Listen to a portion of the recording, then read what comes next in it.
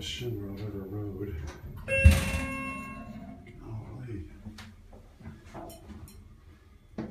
Or Westinghouse, actually. This, yeah, this is very well gonna be a Westinghouse. Check the elevator records.